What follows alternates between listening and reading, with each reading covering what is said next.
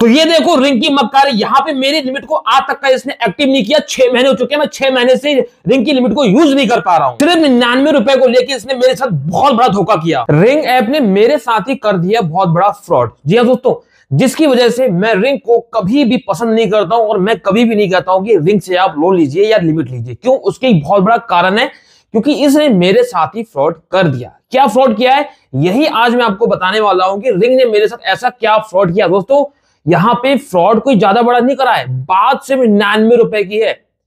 ठीक है? निन्यानवे रुपए की बात नहीं है। बात है बात की, कि इन्होंने अपनी बात को पूरा नहीं किया। इसी वजह से मेरे को इतना गुस्सा आया कि मैंने आज तक का इनका निन्यानवे रुपए, यानी सौ रुपए का पेमेंट नहीं किया।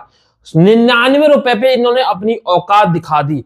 दोस्तों, निन्यानवे रुपए सौ रुपए बड़ी चीज़ नहीं होती है। मैं इसका पे कर सकता था, लेकिन यहाँ पे इनकी जो बात थी ये अपनी बात पे कायम ही रही टिके नहीं। इसी बात की वजह से मैंने आज छह महीने हो चुके हैं, मैंने इनका रिपेमेंट नहीं किया है। ब्लॉक कर रखा है मतलब कि उस लिमिट को मैं यूज़ ही नहीं कर सकता जब तक का वो निन्यानवे रुपए का मैं रिपेमेंट नहीं करूँगा। तो क्या है पूरी बात? क्या है पूरी सच्चाई? क्या है हकीकत? सबको बताऊँगा। और दोस्तों, यहाँ पे आपको ये बताऊँगा कि इससे लोन लेना ठीक है या नहीं है, वीडियो के आखिरी बताऊँगा।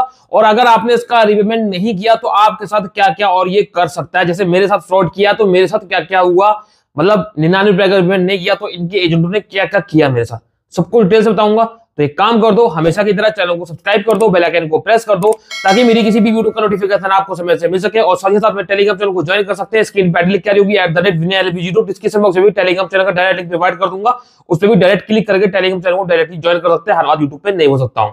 दोस्तों, आखिर रिंग ने ऐसा मेरे साथ क्या किया? तो सब कुछ समझाने के लिए मैं आपको सीधे मोबाइल की स्क्रीन पे लेके चलूँगा, ताकि आपको मैं अच्छे से समझा सकूँ। तो चलिए मोबाइल की स्क्रीन पे चलते हैं। रिंग को ओपन कर लेते हैं। यहाँ पे मेरी जो रिंग है, वो ओपन हो रही है। तो यहाँ पे आप देख सकते हैं कि यहाँ पे पाँच हज़ार एक सौ चौवन की लिमिट मेरे को जो है मिली हुई है। टोटल जो लिमिट मिली हुई है मतलब इतना मैं पैसा इस्तेमाल कर सकता हूँ, अपने अकाउंट में ट्रांसफ़र कर सकता हूँ लोन ले सकता हूँ, ठीक है? यहाँ पे एक चीज़ और भी देख पा रहे होगे। ओवर ड्यू सिंस एक सौ डेज़ मतलब पूरे छह महीने हो चुके हैं। छह महीने से इनका मैंने रिपेमेंट नहीं किया ओवर ड्यू चल रहा है मेरा, ठीक है? वही जो मैंने बताया, निन्यानवे रुपए का, वही है। देखिए, यहाँ पे रिपे नाउ का ऑप्शन आ रहा है, इस पर क्लिक करूँगा।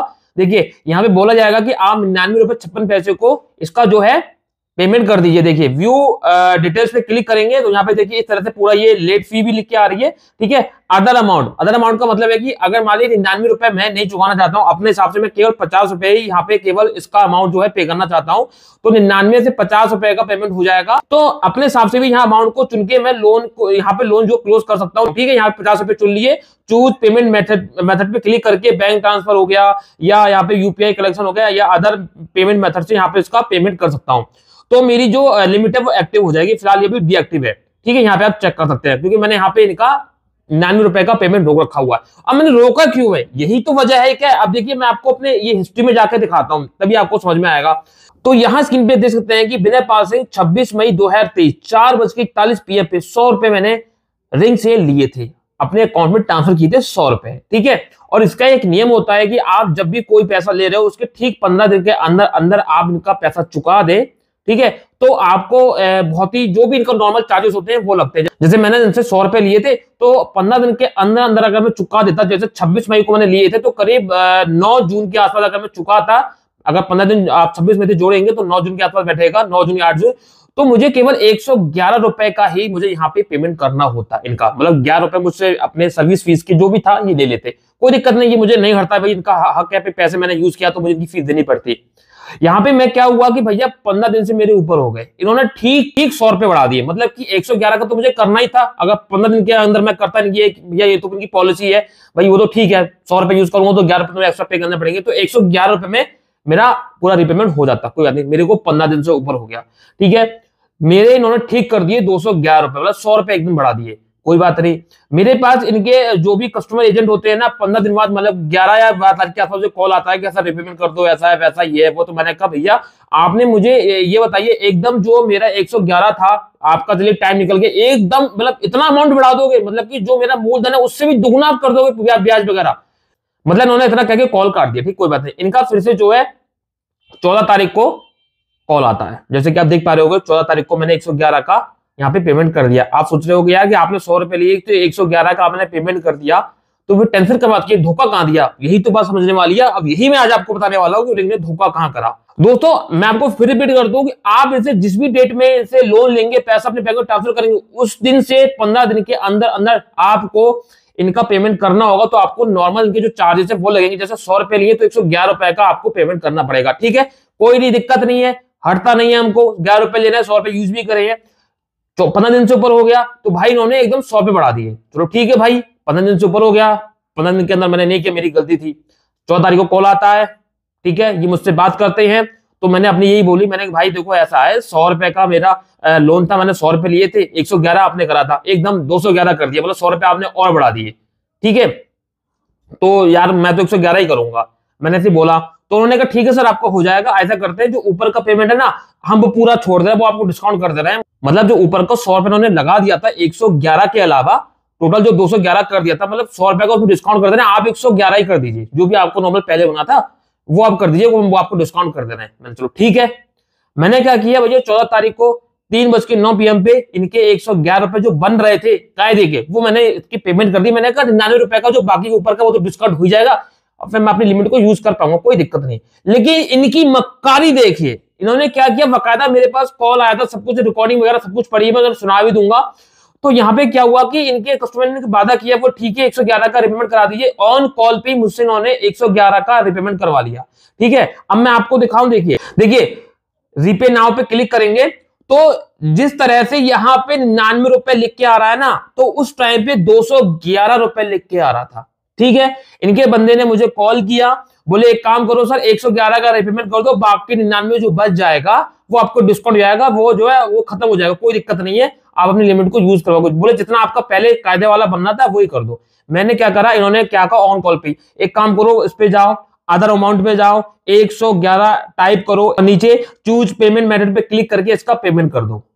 तो मैंने कर दिया। उस समय तो 211 दिखा रहा था 111 का मैंने पेमेंट कर दिया। यहाँ पे अदर अमाउंट का ऑप्शन आ रहा है, अपने हिसाब से अमाउंट चुन के पेमेंट कर सकते हो, मैंने कर दिया।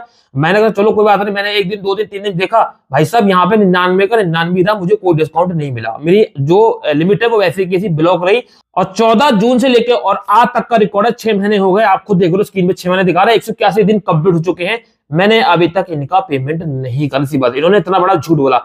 मतलब जब मैं 111 कर सकता हूँ ऑन कॉल पे तो निन्यानवे पे मिल क्या है? कोई बड़ी चीज़ तो नहीं है ना। इसी बात से इन्होंने इतना बड़ा धोखा दिया कि कहीं जब कॉल भाई, सब कुछ किया तो मैंने कहा, भैया, अब मैं नहीं करने वाला तुम अपनी बात से फेल हुआ, तुमने ये कहा था कि हम निन्यानवे रुपए का डिस्काउंट दे देंगे। एक सौ ग्यारह मैंने कायदे वाले कर दिए तो मैंने डिस्काउंट क्यों नहीं दिया? मुझसे कह देते कि, भैया, हम डिस्काउंट दे पाएँगे तो मैं पूरा ही कर देता, मुझे क्या दिक्कत थी? मैंने तब से रिंग को हमेशा यूज़ करना बंद कर दिया, हमेशा यही बोलता हूँ रिंग को यूज़ मत करो मत करो मत करो। और ये बात मैं आज ये चाहेंगे रिंग वाले तो मैं कोर्ट में साबित भी कर सकता हूँ। मेरे पास कॉल भी पड़ी है रिकॉर्डिंग पड़ी, कहीं ना कहीं पड़ी होगी, निकालनी पड़ेगी सिस्टम मैंने सब डाल रखा है। इनके एजेंट ने खुद बोला था। ठीक है, छह महीने पुराना हो गया फ़ोन में तो रिकॉर्ड होगा नहीं तो सिस्टम में ढूंढना पड़ेगा मुझे। तो ये इन्होंने मक्कारी करी मेरे साथ, और यहाँ पे देख लो, आज के टाइम पे यहाँ पे जो रिंग की लिमिट है, पूरी की पूरी ऐसी ब्लॉक पड़ी है तक का मैं निन्यानवे रुपए पे नहीं करूँगा, मेरी लिमिट ये एक्टिव नहीं होगी, देखिए। Pay now using limit मुझे यूज़ ही नहीं करनी है। एक सौ इक्यासी दिन हो गए और एक साल हो जाए दो साल हो जाए मैं निन्यानवे रुपए पे ही नहीं करूँगा। अपनी इन्होंने औकात दिखा दी तो मैंने भी अपनी औकात दिखा दी, मैं इनका रिपेमेंट करूँगा ही नहीं। ठीक है?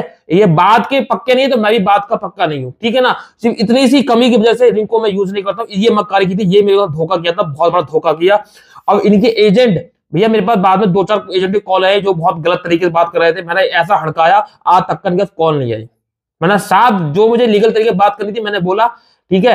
वो आता उन्हें कॉल नहीं आई है, और उसके अलावा कोई दिक्कत नहीं हुई है। मैं यूज़ नहीं करता हूँ रही बात आपकी कि भैया आप यूज़ कर रहे हो इनको, नहीं कर रहे हो, वो आप देख लो फिर मैं तो कहूँगा कि इसको बिल्कुल खत्म ही कर दो। पैसा लिया है, चुका दो और भाग लो यहाँ से मतलब आपको सिविल खराब कर देगी। ठीक है? दूसरा, यहाँ पे अगर आप रिंग का रिपेमेंट नहीं करते हो तो क्या होगा? सबसे बड़ा क्वेश्चन ये होता दोस्तों, देखो क्या होगा कि अगर आपने समय से रिपेमेंट नहीं किया आपसे इस तरह से, इस तरह की दिक्कतें आ सकती है जो मुझे आई है। आपसे प्यार, मोहब्बत से पेमेंट करवा लेंगे, भले जितना हो सके करवा लेंगे, फिर आपको छोड़ देंगे। रिंग की लिमिट आप जो है, आप यूज़ नहीं कर पाओगे, आपका सिविल डाउन कर देंगे ओवर वगैरह दिखा देंगे, ऐसा कर देंगे। उसके अलावा यहाँ पे केस वगैरह तो नहीं करेंगे तेली लेकिन हाँ एजेंट आपके साथ मक्कारी करेंगे, ये बात गारंटी घर पे आ जाएँगे ऑफ़िस में जाएँगे, ये बहुत निश्चित तय हिसाब से मैं कह रहा हूँ, ठीक है? तो रिंग से लोन लिया, चुका दें, खत्म करें और पल्ला झाड़ लें। और अगर आप पैसा नहीं है तो भैया इनके एजेंट आ सकते हैं। मैं क्लियर बोल रहा हूँ केस तो खैर नहीं करेंगे इतनी जल्दी, ठीक है ना? लेकिन हाँ एजेंट वगैरह परेशान कर सकते हैं। इस बात को समझ लीजिए कॉल वगैरह भी कर सकते हैं। लेकिन एजेंट तो घर पे आते ही आते हैं, सौ रुपए दो सौ रुपए के लिए भी आ जाते हैं। तो मेरे साथ क्या कहानी थी, मैंने बता दिया। और ऐसी कहानी अगर आपके साथ भी हुई है, रिंग ने क्या धोखा किया, मुझे बकायदा प्रूफ के साथ भेजो, मैं यहाँ पे पूरा एक्सपोज करूँगा। तो उम्मीद है आज की वीडियो में आपको जानकारी मिली होगी, आखिर रिंग ने मेरे साथ क्या धोखा किया, निन्यानवे रुपए में क्या अपनी औकात दिखा दी, इन्होंने जो वादा किया था वो पूरा नहीं किया, इस वजह से मैंने रिंग को यूज़ करना ही बंद कर दिया। तो उम्मीद है भैया समझ रहे होंगे। मिलता हूँ नेक्स्ट वीडियो में नेक्स्ट टॉपिक में, तब तक के लिए जय हिंद मातरम, सत्यमेव जयते।